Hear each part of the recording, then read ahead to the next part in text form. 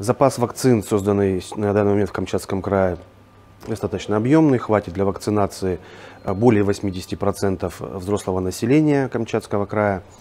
Порядка 85 тысяч вакцин сейчас в запасе. Дополнительно хочу отметить, что у нас есть весь ассортимент вакцин, и Спутник Лайт, и Гамковид, и Эпивак, и Ковивак. Все вакцины есть в наличии. В каждой поликлинике нашего города и нашего края есть пункты вакцинации. Дополнительно развернуты три мобильных пункта в торговых центрах. Это Фамилион, Шамса и Галант Плаза.